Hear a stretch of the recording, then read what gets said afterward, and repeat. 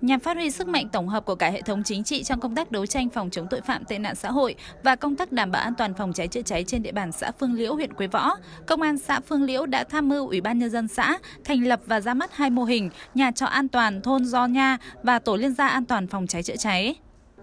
Tại buổi lễ, Ủy ban nhân dân xã Phương Liễu đã công bố quyết định thành lập và ra mắt ban chủ nhiệm mô hình nhà trọ an toàn thôn Do Nha. Theo đó, mô hình gồm 22 thành viên là chủ các nhà trọ trong thôn. Ban chủ nhiệm và các thành viên trong mô hình có nhiệm vụ tuyên truyền, phổ biến kiến thức pháp luật trong đấu tranh phòng ngừa tội phạm, vận động quần chúng nhân dân tích cực tham gia tố giác các loại tội phạm tệ nạn xã hội, các hành vi vi phạm pháp luật, thực hiện công tác đăng ký quản lý tạm trú, lưu trú theo quy định.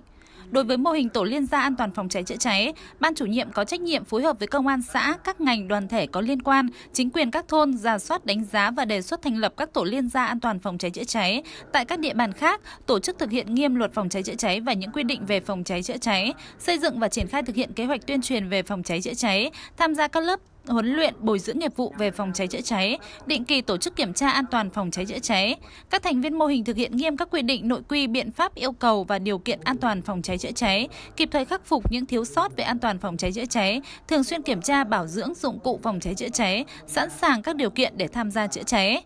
Việc xây dựng hai mô hình nhà trọ an toàn thôn Do Nha và tổ liên gia an toàn phòng cháy chữa cháy xã Phương Liễu là việc làm rất cần thiết, qua đó huy động được sức mạnh tổng hợp của cả hệ thống chính trị trong công tác đảm bảo an ninh chính trị, trật tự an toàn xã hội, đảm bảo an toàn phòng cháy chữa cháy, góp phần thúc đẩy sự phát triển kinh tế xã hội địa phương.